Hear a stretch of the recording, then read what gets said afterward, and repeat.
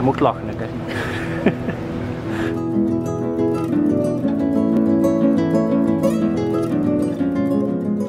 De BABC voor mij betekent dat een fantastische organisatie, een echte compagnon de route voor en tijdens en na de behandelingen.